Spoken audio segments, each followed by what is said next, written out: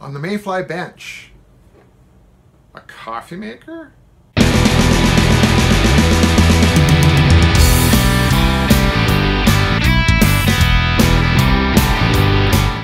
So I know what you're thinking.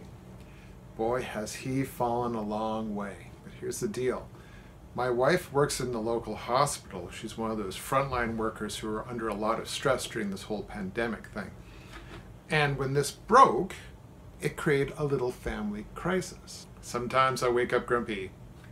Other times I let her sleep in for a little while. Without her morning coffee in the morning, things uh, predictably weren't going so great. So I'm going to see if I can take this thing apart and fix it. Here we go. So the complaint with the coffee maker is you plug it in, flip it on, it does turn on, but it doesn't pump water up and around. Usually, I'm well, I'm guessing, don't have much experience with these things, but I'm guessing that's because the heating element is no longer actually uh, heating up the water. So we're going to take it apart and have a look. Maybe this will be a success, maybe it'll be a total failure. The first thing you notice about these inexpensive coffee makers is they have a weird screw. This odd triangular shaped screw is going to be very interesting to get out. I considered getting a piece of steel dowel and kind of carving off three edges off of it. But then I found out that an Allen key actually fits in there. So I'm going to undo them with an Allen key. I'm going to open it up and see what's going on. We've got it open. Let's see what horrors lie within.